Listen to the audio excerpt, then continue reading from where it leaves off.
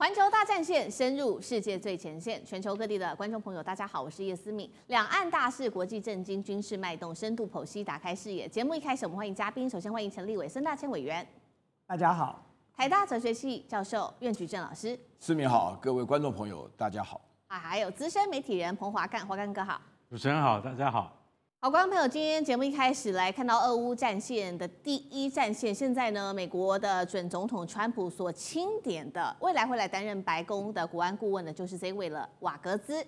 瓦格兹在十一月二十四号这一天特别表示，新一届川普政府会在明年的一月开始就会正式的来着手乌克兰的冲突了。川普希望透过谈判来解除这一场战争。另外，他也特别提到了欧洲国家应该成为谈判过程的一个关键，也就是说，不管是美国，包括了美国在内所有的盟友和他的伙伴，都必须要承担这个重担。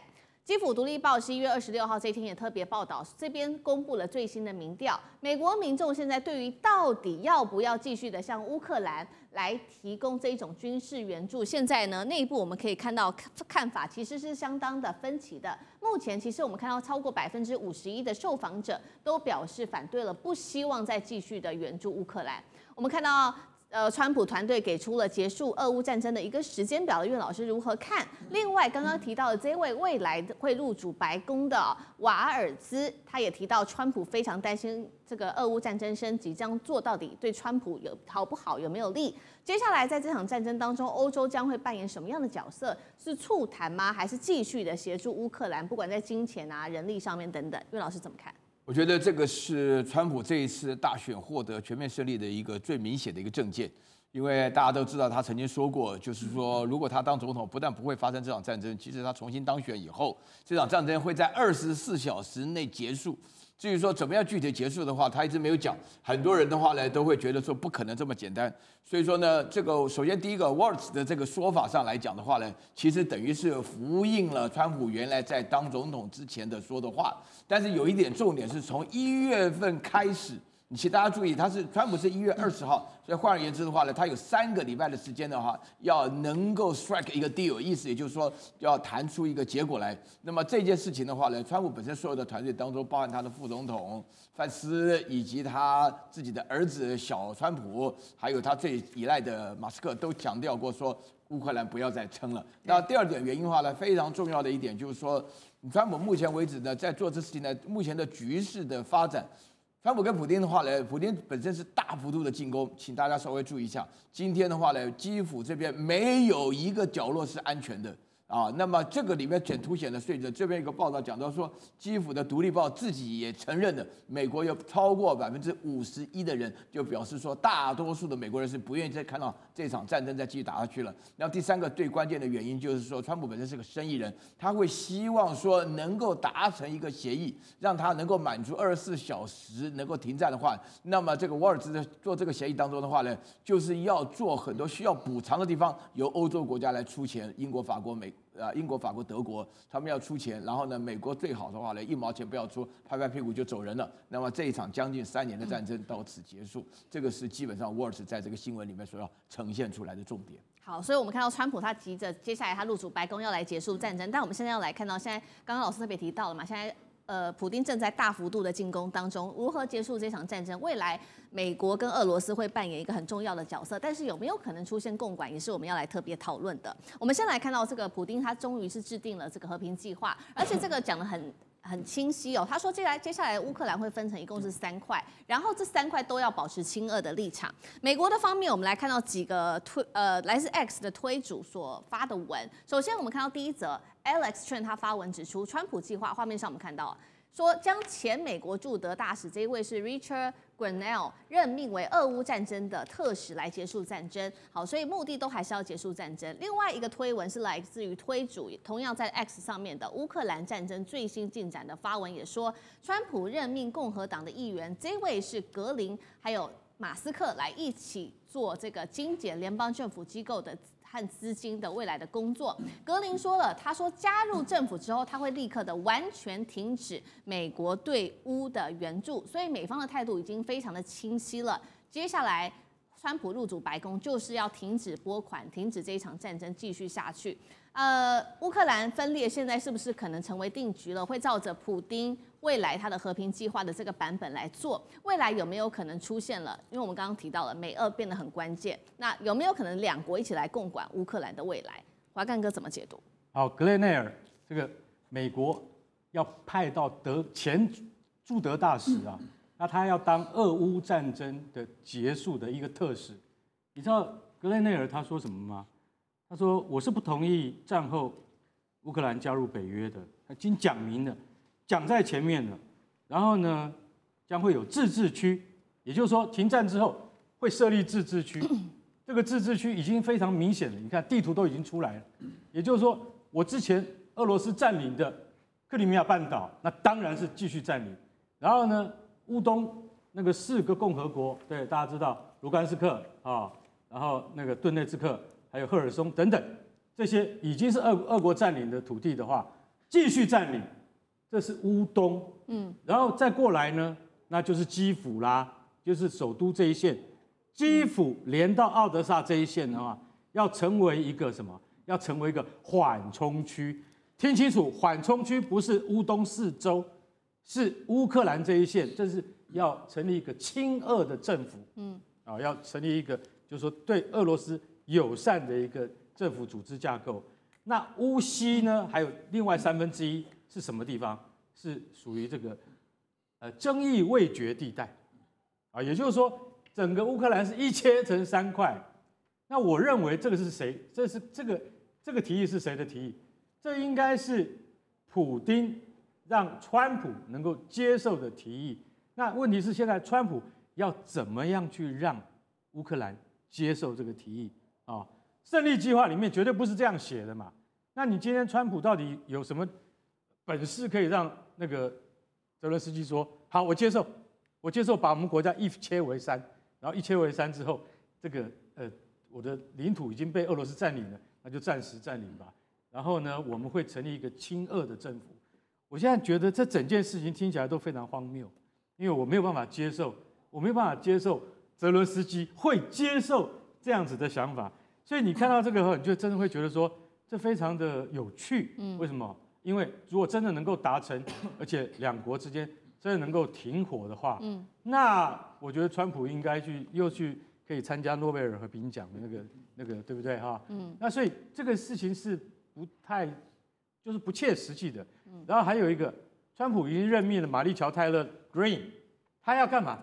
这个人是从川普开始，从四年前。他在当总统就非常支持他的啊，非常支持他。他要跟马斯克啊一起成立一个什么？一起成立就是那个效率部嘛哈。对，效率部。他嗯，他也要当特派员去监督俄乌战争的停战。对。而且他说这个这个战争一定会在我们的监督之下马上。我跟马斯克是最有效率的。为什么呢？因为总统新的总统就是达到这个意志。嗯。而且我跟你讲，我们马上就会停止对。乌克兰的军援，我跟你讲，他讲这句话不是随便乱讲的，他一定是有经过川普的授权，不然你怎么敢这么讲，对不对？嗯，你今天被被派为就是特助啊，啊，特别助理啊，要去参要去参加这个谈判的话，你敢这样讲，就代表说 Green 他讲的是川普的意志，我们马上就停止对乌克兰的这个一切援助，而且呢，让他们上谈判桌，而且呢，这个反正就是。拜登他的邪恶计划，整个战争都是他挑起的。现在终于川普上来要把它给终止了。我觉得讲出来的话都很硬啊。我们要看说，真的，一月二十号川普上任之后会有什么结果？好，一边是川普跟他的内阁成未来的内阁成员 Green，他们已经在讨论了嘛，接下来要赶快的来结束战争。不过这个时候拜登还是在任内，现在看起来冲突可能会再升级，甚至有没有可能把这个核战给用上来？我们要来持续关注。纽约时报做的报道说，为了要避免战争再恶化，所以现在呢威慑力很重要。美国官员就透露了，接下来拜登可能会把在苏联解体后当时被拿走的核武，说要归还给乌克兰。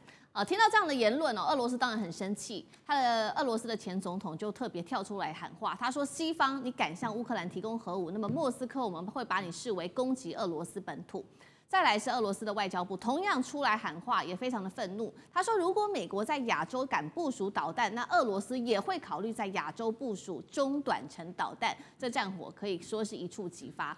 我们来观察说，如果拜登真的把核武归还给乌克兰，真的可能发生吗？重点是这核武到底还存不存在啦？那如果真的发生，会不会继续升高俄乌的态势？委员又怎么看？对，思敏刚才提到的就是关键的问题哦，到底有没有这批核武？那有这批核武，这批核武究竟是在谁的手上？因为如果你回溯当时的历史的时候，在一九九一年那个时候，乌克兰独立，它分走了俄罗斯大概当时叫苏联三分之一的核武的数量哦，所以包含了这个可以配备在载有六个弹头或者是十枚这个核子弹头的洲际弹道飞弹，以及它包含它三十三架的重型轰炸机，所以总共加起来，那个时候乌克兰分走了。苏联哦，旧苏联时代大概一千七百枚弹头，嗯，但是关键问题来了，嗯，当时乌克兰因为承诺要加入这个核不扩散协定，所以他就愿意把这批核武把它销毁掉了。大家要了解，这是销毁哦，它没有暂存在美国那里哦，所以我不理解说这批核武什么时候飞到了美国那里去了哦。而且通常在做这个呃核不扩散协定，这个大家都很有经验，彼此销毁这个彼此的核武的时候，都是各自完成这样的任务，对方可以派观察员来看哦。对。但是很少有说我我拜托你帮我销毁哦，这不是那个垃圾代为处理的那种概念哦。那么而且无法回收。对对，俄罗斯来说，他也绝对不可能同意我过去的核武交到你美国手上，这是完全不可能存在的事情。这包含他所有的技术、所有的参数，通通都等于送给了美国。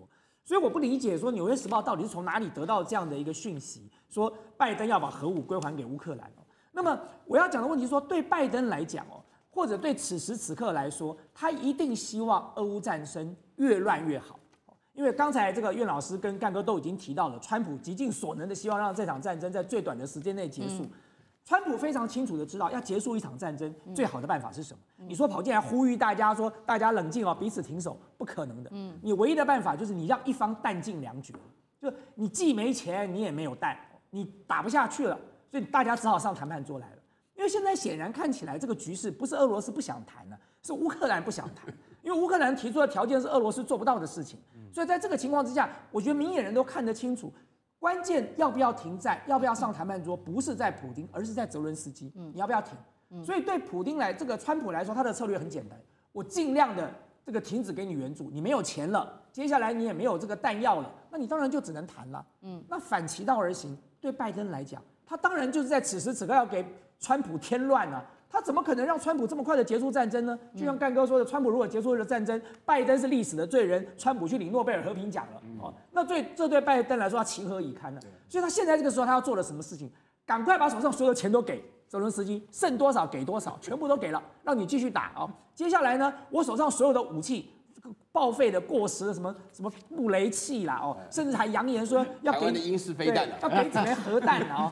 那他他只是想把这个局势搞得越来越乱嘛，因为整个俄乌的态势不断的升高，那么川普未来要解决的话，当然就更更难了。嗯，但在这个过程当中，有一群最蠢的人，就是欧洲的这些领袖，干他们到底什么事情啊？这明明是这个局势，就是拜登跟。这个川普之间在做角力，这群家伙现在就跳进来了啊！一起说好，美国不给，我们来给。所以我无法理解哦，就是这个呃，欧洲的国家的这些公民们是用什么样的态度，会去选出这么一群脑袋有问题的政治领袖来？地缘政治、美中之争、战略价值、强权崛起、小国生存，现在与未来洞悉事件走。向掌握世界脉动，全球观点尽在环球。好，这一节产业消息，我们关心关税战。美国准总统川普二十十一月二十五日这一天宣布了，会针对从中国进口商品，将会在既有本来就有的一个关税下面，再次额外的征收百分之十的关税。另外，针对的国家还有墨西哥跟加拿大，这个税收幅度课征达到了百分之二十五的关税。另外呢，中国驻华盛顿的大使馆发言人刘鹏宇他也特别发声明，他说，中美之间的贸易应该是这种合作关系，互利共赢才是好的，没有人会赢得贸易战或是关税战的。墨西哥的政府则是表示说，贸易报复只会伤害人民。加拿大的这一位是财长，同时他也是副总理，他叫方慧兰，他也做了一个回应，他说川普将是加拿大多年来最严重的一个威胁。我们看到川普的关税战冲击的国家，包括了美国、跟中国、加拿大、墨西哥，一口气达到三国，这样子就能到让美国的制造业回流吗？关税战一定会导致在美国境内自己的通膨加剧，对消费者并不好。为什么川普还是硬要做？苑老师怎么看？美国现在国内的政治最大的两个共识，一个就是希望停止俄乌之间的冲突，另外一个是大家提高的共识要反中反华。那川普针对这两事的话，前面我们讨论很多俄乌冲突，那现在川普本身要表现的话，就是要对中国征收百分之六十、百分之一百的干什么都要征收关税。我觉得这里面的话呢，充分的显现三个迷失啊，这个迷失的话，显现川普的无知跟傲慢了。首先，第一个，美国动不动就拿关税来抵制别人。你要知道什么是关税啊？关税的意思就是说，美国人印出来的绿色的纸钞，然后拿跟人家换，一百块钱就换两条牛仔裤进来。美国人用纸换人家的牛仔裤，这种生这种生意太好做了。美国的富裕就是来自于美元啊。那事实上，我们叫美金已经过过时了。然后第二点原因的话呢，美国人乱花钱，所以才负债累累啊。美国是一个负债国家，动不动拿关税。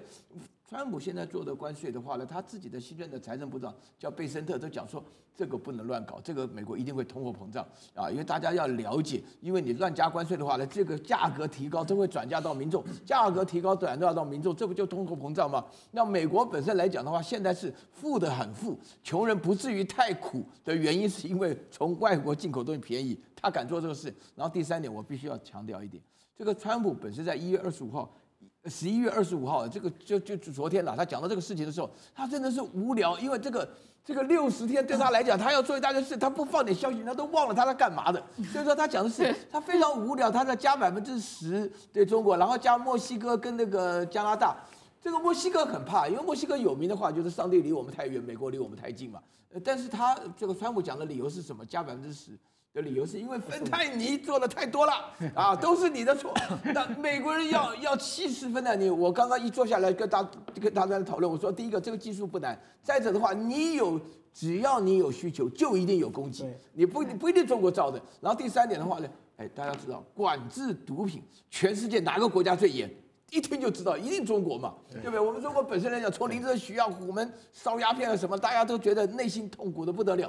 那在这种情况下，川普编了一个莫名其妙理由，我觉得哈一笑置之。川普是因为怕人家忘掉他在干嘛，因为最近的马斯克在他家里住的又又不走啊，那又很有名，要搞了一大堆，所以他这个根本都制造消息嘛。这个关税要加，而且我觉得最重要一点是，大陆已经做好准备了，嗯啊，就是放弃幻想，准备斗争。啊，就打到底，因为美国总是觉得自己的消费能力就是要提高人家关税的理由，从来不知道美国为什么连最起码的制造业都没有。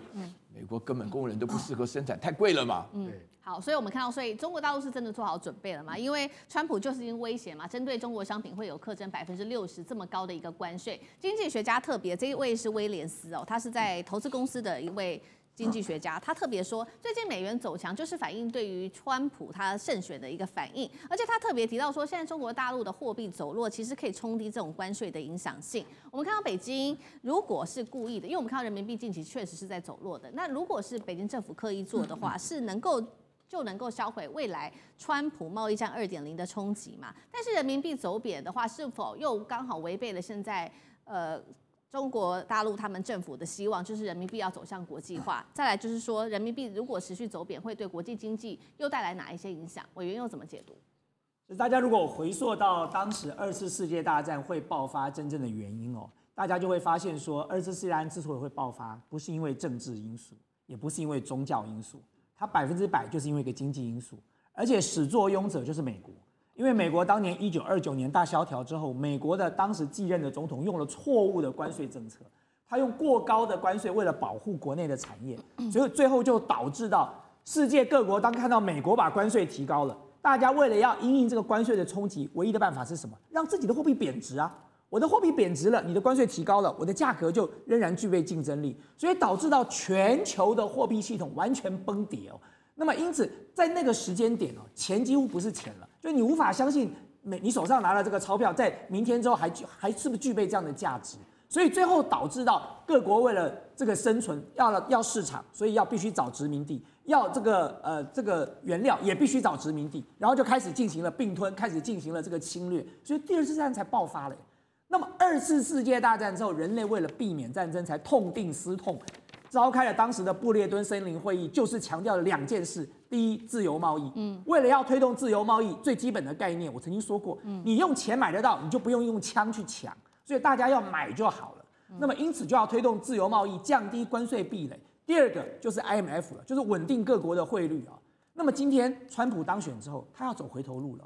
他说关税是最美丽的字眼，可是殊不知，当年一九二九年的时候，美国当时的总统也认为关税是最美丽的字眼的。可是关税不但没有解决当时美国的问题，反而造成了世界全面的大战一场。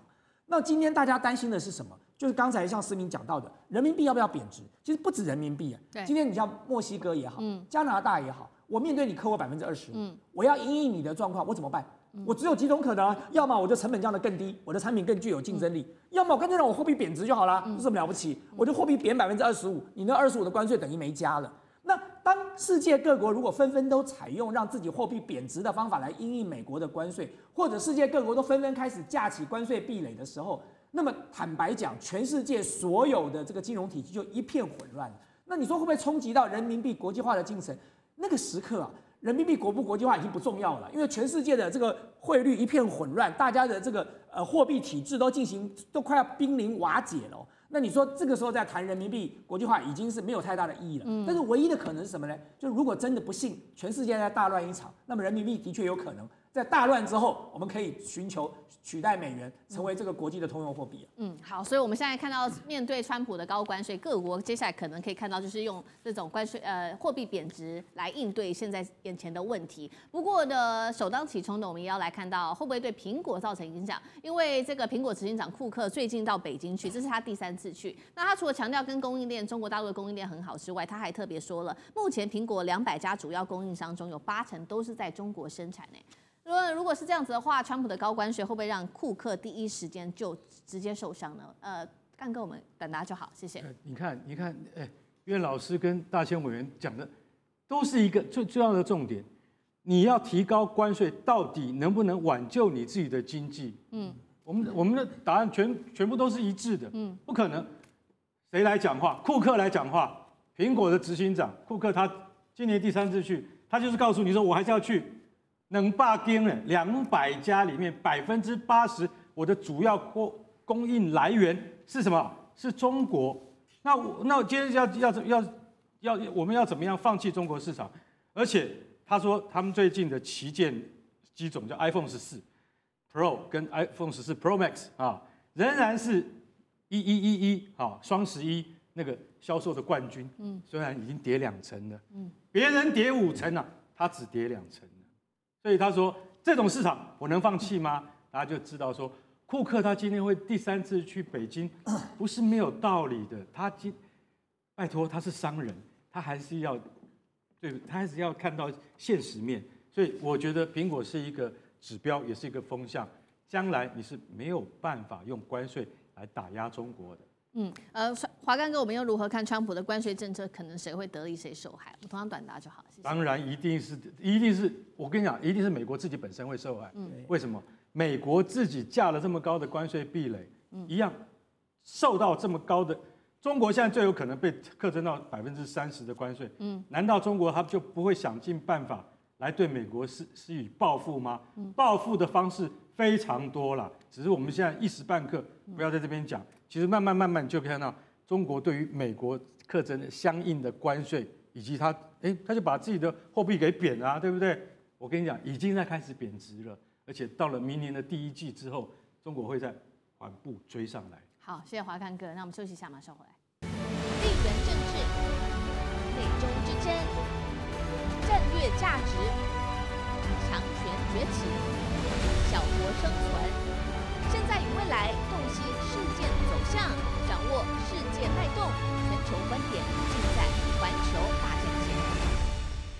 美国援助乌克兰的核武嘛，现在可能看到是不存在，但是俄罗斯的部分在核武的部分早就已经开始做好准备了。BBC 特别报道说呢，当时在二零二二年二月二十四号的时候。也就是俄罗斯，他当时入侵乌克兰的第一天，核武基地就已经进入了全面作战的戒备状态。这是来自于当地的一个俄罗斯的逃兵所透露的。他说呢，在基地那那边也经常做演训，而且士兵他们的动作已经到非常的熟练了，两分钟时间就能够立刻就位来进行打击。好，再来提到的是一直反战的是这一位德国的前总理梅克尔。他也特别谈到了俄乌战争，他说还好当年让乌克兰加入北约，要不没有让乌克兰加入北约，要不然俄乌战争早就已经开始开打了。那梅克尔还说呢，担心普京会使用武力，所以他特别提醒了这些西方国家，说你们一定要避免任何国家去使用核武。这一次他还特别提到了中国，他说还好中国是希望避免使用核武的，一定要记得俄罗斯啊，它是除了美国以外的最大。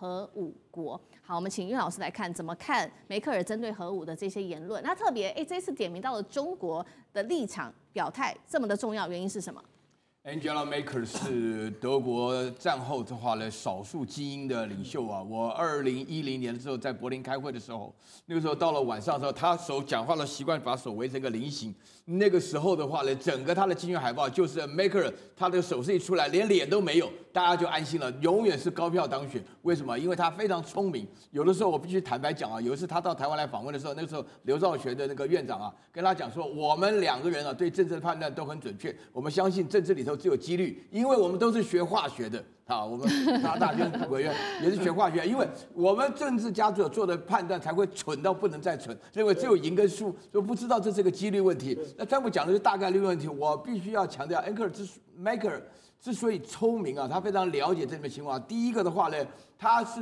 竭力的阻止。没有让这个乌克兰加入北约的原因，就是因为他要发展德国的经济。我在欧洲住的时候，德国经济是如日当中啊，一枝独秀，变成了整个欧洲相对而言是稳定的力量。然后第二点的话呢，就是说梅克尔跟，因为他自己是东德人呐，他那个普丁刚好是东德的 KGB 的老大，他们原来就认得啊，他们德文都非常流利的，所以在那种情况之下，他。普京会把他心里话告诉他，只要乌克兰不加入北约的话呢，什么都好谈。所以他自己非常注意这个事情。所以梅克尔的话现在不在，真的是欧洲非常需要个领袖。我有时候讲到这个事情，我听说大家讲我难过，因为我在欧洲浪费了我的青春呐。那现在话到了一个蠢蛋的这个环境下，你应该对我寄予无比的同情。然后第三点的话呢，我觉得梅克尔讲出一些心里话，这世界的大国当中，只有中国是支持世界和平的。对，没有。我刚刚查了一下，就是美、俄、英、法，他们都是动不动拿出核武啊。然后英国跟法国凭什么讲这种话呢？对不对？俄国讲这种话的话呢，就是最后掀桌子，所以核武都摆在桌上。你这个大家要了解啊，核武这东西要发射出去，你之前的准备要很长时间。就一定要有这个兵透露出来，两分钟内通通已经做好准备了。如果你来的话呢，我们马上就回应。那我觉得大陆本身来讲的话，也是个核武大国。不过梅克尔讲的非常精确，就是还好中国一直促进世界和平啊。如果中国这次已经下海的话，那世界大乱了。嗯，好，谢谢苑老师。呃，再来我们持续来关注乌克兰的第一线的战况。我们先分成空战，然后再来看到陆战。空袭的部分，乌克兰空军特别提到了俄罗斯在十一月二十五号，也就是本周周一跟周二的这个。期间的夜间，对乌克兰发动了猛烈，而且他说是创纪录的来自无人机的袭击。这一次统计到是发射了一百八十八架的无人机，其中包含了伊朗他所设计的见证者无人机。莫斯科还发射了四枚是来自于伊斯坎德尔 M 弹道导弹，对多个地区造成了破坏。而我们看到俄军大面积、强力度的攻击之下，实际战果又是如何？刚刚提到的是空战，我们来看到陆战的部分。现在俄罗斯。国家电视台也做了一个报道，俄国的南方军区第五十一集团军，他们在突袭部队的支援之下，已经攻入了呃顿内茨克它里面的库拉霍沃的市中心。泽伦斯基自己也这样说，他说确实现在乌军在库拉霍沃这边事情是艰难的，而且泽伦斯基特别提到了，呃这个乌方的军队也这样说，过去一天真的是交战。前线发生了超过两百次的战斗。路透社也报道，哎，光是十一月份，俄罗斯的军队在乌克兰取得的土地等于伦敦一半的面积，耶，这样子的面积跟这样的速度已经是最快，也也是战争爆发以来目前最快的了。那本月呢，俄罗斯已经拿下了大约两六百六十七平方公里的土地。和平谈判之前，我们看到俄乌现在。猛攻狂轰哦，接下来战况会不会变得更加激烈？尤其我们提到的是第一线的状况，华干哥怎么看？二零二二年这个俄乌战争开打以后哈，然后二月开打嘛，对不对？然后开打到七月哈，俄军进进入到那个乌克兰领土就没有动了，就没有动了，大概占领了几百公几百平方公里土地，就就一直没有动，就打来打去，你就大家就一直听到他们不断的这个就是说啊，呃冲锋啊，然后啊你你来我往啊，嗯。其实我跟你讲，这两军之间是没有太大的进展，嗯，两年来没有太大的进展，嗯，是大家一向的印象说，哎，我们不是三个月前就已经打到红军村了吗？对，怎么现在还没打进去？好，我跟你讲，那个是一个包围的态势，也就是说，俄军他其实没有那么快的去动员，但是到了七月之后，态势就急转直下，到了八月，嗯，到了八月，你就会突然发现说，哎，哎，俄俄俄俄罗斯的部队。他怎么进进到库拉霍沃了？对，他直接到了红军村的南方去围库拉霍沃，还有很多城市都已经陷落了，那就是让你这个地方孤立起来。所以整个战线长达一千公里之之长啊！嗯，到了这个十一月的时候，已经占领了，光一个月，光一个月啊，三十天之内拿下半个伦敦。半个伦敦多大？两百三十五平方公里，一个伦敦大约将近五百。平方公里，嗯，所以拿下了半个伦敦，嗯，大家听起来半个伦敦有很大吗？啊，像个台北市那么大，比台北市大一点。我可以告诉你，很难。为什么很难？因为乌军都是最精锐的，比如说第四十七机械化旅跟第七十二空降旅在前线，所以我老实讲，这些人补上去的都是精锐。为什么一直没有办法有效的口袋把它收紧？就是因为说。这个是最前线，这个是一定不能兵家必争之地，绝对绝对不能够让俄军攻进来的。所以大家要知道，其实这半个月来的进展非常的大，嗯，就非常的大。嗯，那到现在为止呢，你说，哎，也发射了。我们上次前上个礼拜说他发射了这个呃 RS 二十六哈，或者是说真果树飞弹，现在又发射了伊斯坎德飞弹。俄罗斯这种飞弹非常多，它的武器库里面非常多，就看它什么时候。要拿出来用而已，所以，但是我跟你讲，现在我们还是要讲到一个重点。嗯，其实普京的脑袋跟那个川普的脑袋里面想的可能是同一件事情，因为川普他现在就在想说，你那拜登怎么一直叫我一直送要送钱过去啊？干嘛？为什么你知道吗？就是要在我来接任你的时候，我该给乌克兰的钱都给了，你知道？其实我跟你讲，川普现在想的是一也是一样，也是一个前置，你知道为什么？因为他们现在才终于说出来，他们的目的是说，因为乌克兰可能有两到七兆的稀土矿产，要用稀土来赔付你欠我的四十六亿美金的战争债。所以说，川普打的是这个如意算盘。嗯，当然我们听到这个东西的话，我们心里会想说，到底是真是假？对，对不对？就有点像说，美国要把刚刚大千讲要把。本来是给乌克兰的核武器，还给还给乌克兰，那个乌那个核武器还是在在在乌克兰那边吧，还是在俄罗斯手上吧？这个美国是把核武器运来再运回去，那个不可能的，因为历史上也就是我们文献上没有这样的记录。也就是说，这个新闻是怎么来的？我也很存疑啊。所以没有这样子的核子武器转运的事件，这件事情是很莫名其妙，而且早就该被销毁。对啊。假消息，这根本就是报写的假消息，跟民进党学的。我们专家看起来都觉得是，我只能用四个字来形容，那叫胡说八道，嗯，好不好？嗯，说要把乌克兰的旧核武还给乌克兰，那东西在谁手上？那不在俄罗斯手上？那俄罗斯怎么可能可以可能可以给你？这个是没有逻辑的新闻嘛？OK。大概就这样。好，所以这场战争我们看到，其实还涉及到这个整个是商业利益。我们现在看到俄罗斯在持续的推进，那其实俄乌双方都有自己的外援。首先在朝俄罗斯，它是来自于朝鲜的外援。那我们等一下也会讲这个乌克兰，它有来自于南韩的外援。在外援的部分，乌克兰的国防部特别透露说，北韩向俄罗斯提供的它的飞弹，包括了有一百枚的 KN 二三，还有。KN 二四的短程弹道飞弹，另外还派了军事专家去维护这种飞弹的发射器。乌克兰也说，其实从去年底以来，俄罗斯就一直用这些飞弹来攻击乌克兰。比较特别的是，这当中还发现这个零件制造商是来自于英国的。好，刚刚也提到了乌克兰的方面，则是有南韩来帮忙。呃，在乌克兰的部分，外长跟南韩的外长这一次特别进行了场边的一个会谈，也透露说，乌国近期会派他们的特使出访南韩，讨论的就是因为朝鲜援鄂，他们要做一个情报的交流。南韩也公布了，确实未来可能就会有新一波的援乌方案。一边我们已经很清楚看到，就是俄罗斯加朝鲜；另外一头我们又看到是乌克兰加南韩两大势力。呃，川普他一直喊嘛，他说希望停战，希望能够停战。但是我们看到这时候南韩还说持续的要援乌，到底南韩他的想法是什么？委员怎么看？造成全世界现在战火不断哦，这个纷扰不停的情况，呃，这些世界各国的政治人物大概可以分成两种，一种就是坏。坏的政治人物，譬如像拜登、像这个纳坦雅胡、像泽伦斯基，这些人各自有各自的盘算，所以战争对他们都是有利的。那么第二种就是笨，那么笨的政治人物，我们刚才已经讨论过了，像在德国的肖兹、法国的马克宏，这到底要多笨才会变成这个样子？无无法理解。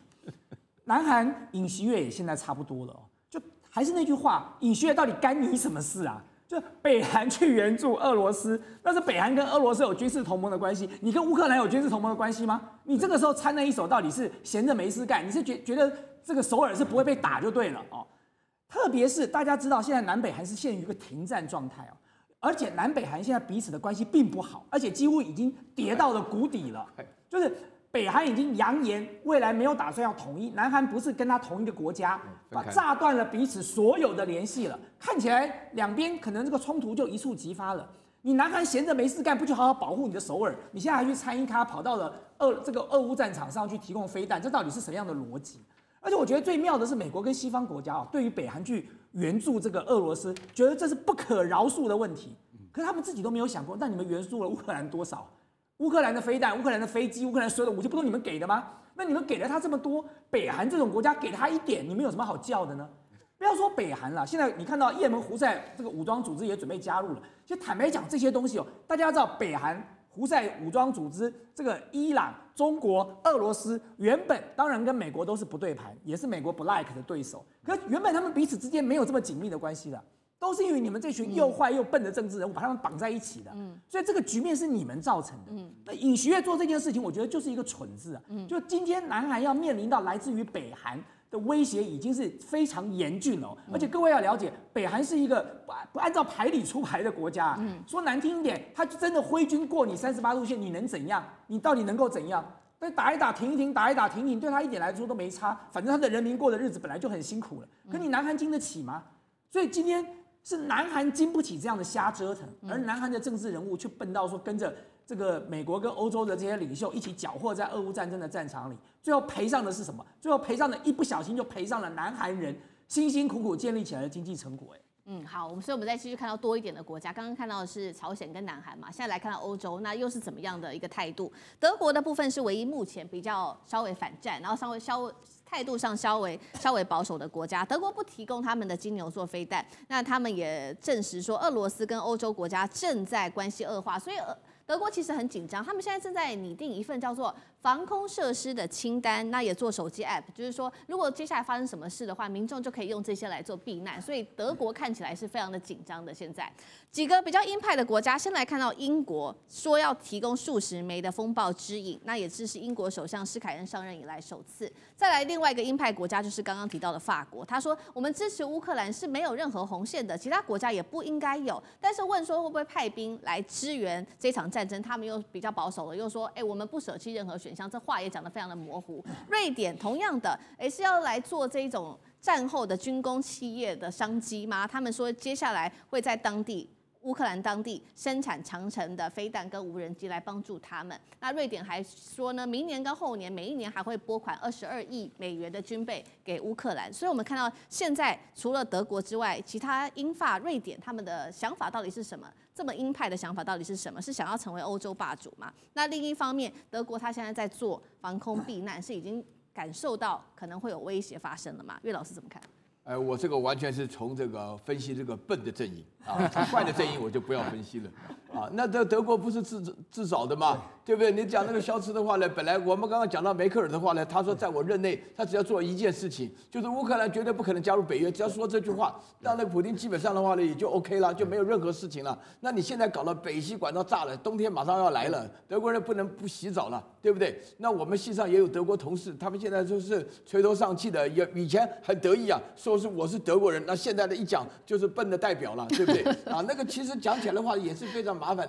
那这最最笨的话呢，就是英国跟法国一直不断的在拱火。其实他们这两国应该是又笨又坏，为什么？因为他们笨呢，是因为他们本身来讲啊，他们这个要提供继续提供武器，希望他打下去，人家拜登是拉不下脸来继续要搞，那他们跟着学。那么坏的是，因为他们隔得很远，你知道吗？啊，所以说那个他们是嘴巴讲一讲，而且实际上的话呢，讲的事情，尤其是法国，讲话都是模棱两可的。哎，就说什么我们不舍弃任何选项，废话，哪件事情是绝对舍弃选项的？所以说这根本都讲不清楚。不过我觉得这这个他们所谓的金牛座的飞弹提问话。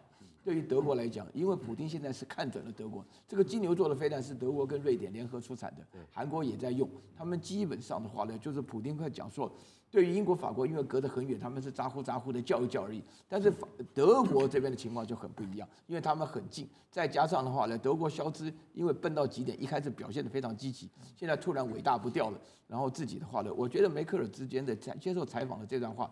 对他产生了很大的很大的警讯，因为肖兹啊，到了明年二月就要提前改选了，对，根本就等于是看守内阁，他基本上是跛脚鸭了。为什么会产生这种现象？就是因为连德国内部的极右派呀，所有人通通在反对他。肖斯在德国的支持率怎么低到什么程度都不敢想。我我跟你讲，德国现在要救的话，那可能梅克尔要重新出山了。嗯。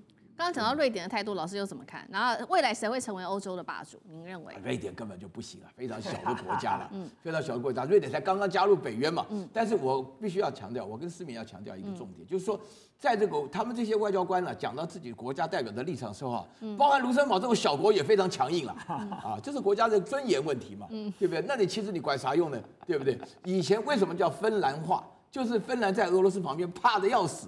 啊，现在加入北约了，跟着那美国现在搞成这个样子。美国换了川普以后，他讲啊，现在他就想办法谈谈谈谈，然后到时候说我一宣布二十四小时内结束了。他现在要干的是这种事情。那属于欧洲的国家的话呢，为了面子就在那边在那边死撑活撑的，我不太懂这撑的有啥意义。嗯，而且欧洲国家其实现在都已经快要崩盘了。嗯，就如果大家看一下刚才老师讲的，像德国连续两季经济负成长，对对，然后德国的企业出走这么严重。法国，大家看一下法国的债券的价格有升到多高了？升到几乎已经超过西班牙跟意大意大利了。法国自己都有债务危机了，所以欧洲都快要崩盘了。想谁是霸主有什么用？一群乞丐里头，然后争谁是丐帮帮主啊？选选个丐帮帮主啊，就这样子。好，谢谢，意义。谢谢委员。呃，我们休息一下，马上回来。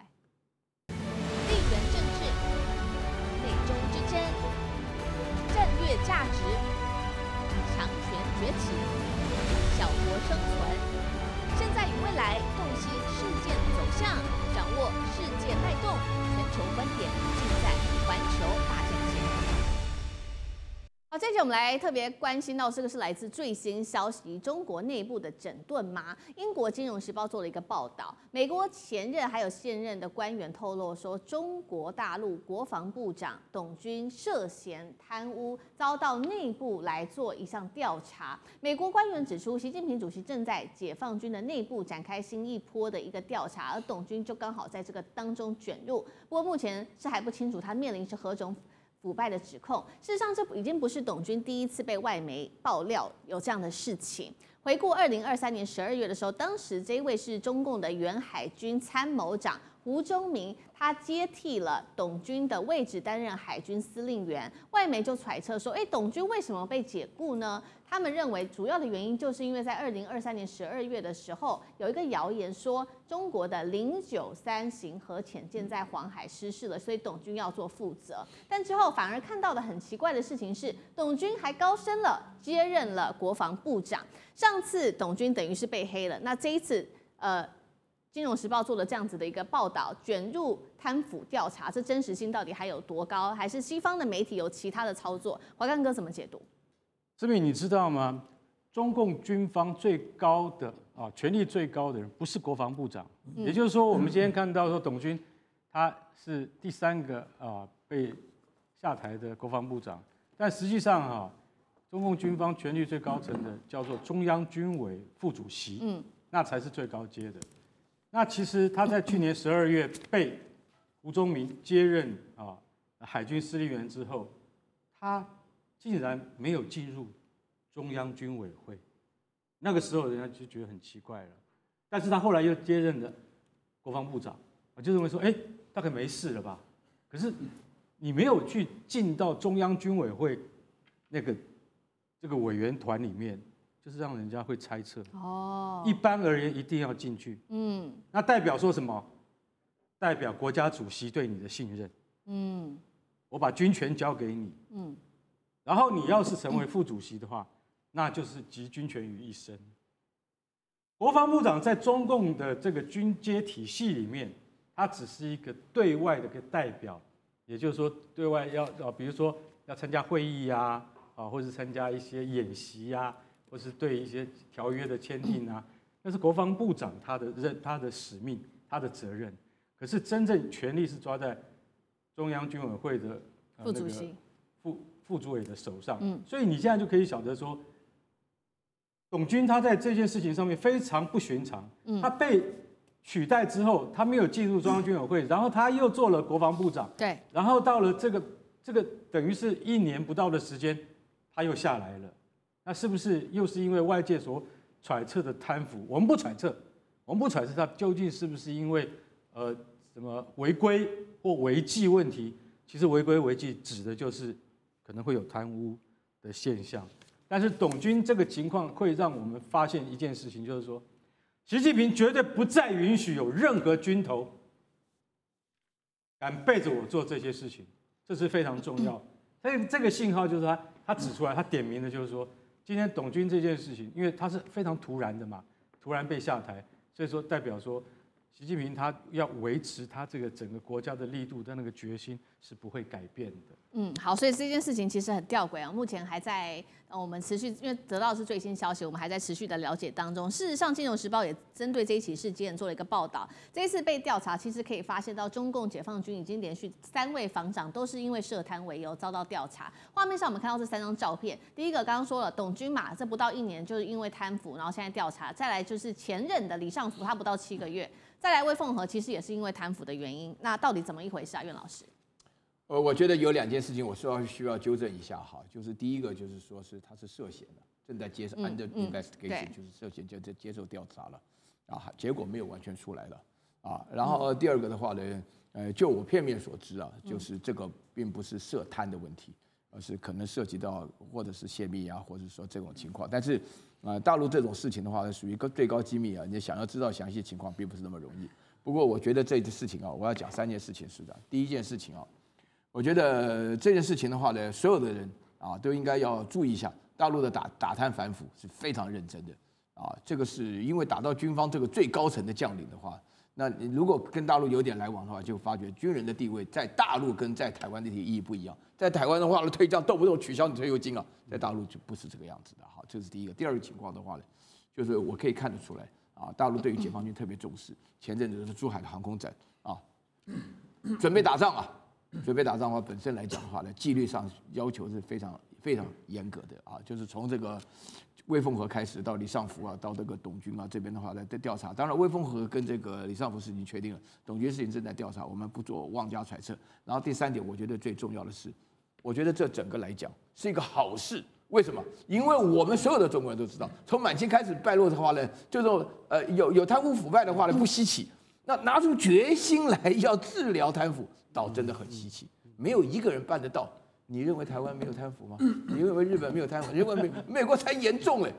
我我我我所谓的严重，就是当然也是看一些报道，但是我觉得能够治乱世用重点，就是这种做法。我觉得这并不是件坏事。当然了，对粉饰太平的人会觉得说啊有点丢脸。事实上丢这点脸的话呢，可以解决很多问题，那何乐而不为呢？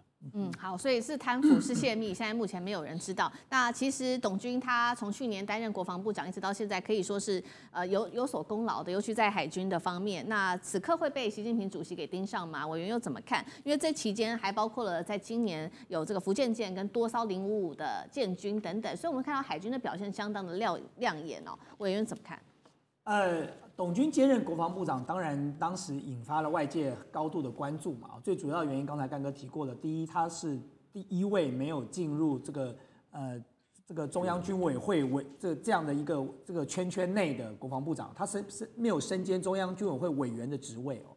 那么第二个是他是海军出身的，这两个都是第一哦，就是从中中国大陆建军以来，他是第一位哦，海军出身的这个国防部长。嗯，所以当时外界看到董军出任国防部长的时候，第一个直觉的反应就是，呃，习近平要整顿火箭军了。对，那当然整顿火箭军，我觉得岳老师讲到的重点了。其实中国大陆的整顿未必一定是贪污问题，当时火箭军曾经谣传严重的涉泄密问题，包含他们的这个火箭军的将领的子女在海外被吸收，这些当时有各式各样的谣传哦。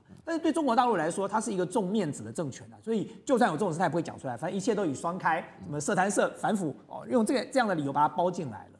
那在接接下来讲说，董军这次的事情究竟是真是假？当然，第一，因为它是《金融时报》，坦白讲，我对《金融时报》的可信度一直我都存疑哦，因为《金融时报》一直是西方这个政治人物放话的一个很重要的管道。就像我们刚才讲到，连《纽约时报》讲的那个都都让我们都觉得高度存疑了。《金融时报》这个，我觉得除非有更多的消息这个披露出来哦，我们才能够确认有这样的事情发生。那就算真的有这件事，我觉得岳老师讲的非常有道理，就是这也是个好事啊，这有什么不好？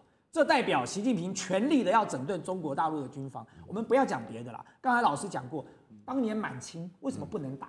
嗯，因为贪嘛。甲午战争怎么输的？甲午战争的那个炮弹就是假的，根本打不出去啊，就是不能打嘛。所以对对这个习近平来说，他这个时刻去整顿军方，不管说将来会不会有一场大战，但是现在显然看起来，国际间的各方势力对中国大陆都极为不友善啊。那在这种时刻，你要强军，你要建国，你要保卫这个国安。你军方必须要先巩固起来。那如果你还是继续用这种像筛子一样的一群团队，然后你所有的消息都可以泄露出去，包含当时我记得他整顿火箭军的时候，是因为火箭军连全中国大陆布防，美国都掌握的一清二楚，还给你出一本书，告诉你说每个地方布了哪些人，然后有多少这个火防兵，他都通通给你布出来了。所以在这种情况之下，对习近平来说，你不管是处理这个呃泄密的问题，或者是你处理贪腐的问题。他在此时此刻用雷厉风行的手段，一口气整顿了三个防长。假设董军是其中之一，三个防长哦，那么我们当然希望他能够在中国大陆的军方树立一道威严了，让中国大陆的这个解放军的将领知道什么可以做，什么不可以做，什么该做，什么不可以碰哦。那么因此，呃，董军这件事情，我觉得我们可以再做后续的观察。那但是不管他是否有涉入。其实我觉得，呃，习近平在这段时间对中共军方所做的一切的整肃，哦是值得台湾警惕的。就是你只有在一种情况之下开始要整肃军方，就是因为你准备要打仗，你要看看你的兵能不能打。那么中国当。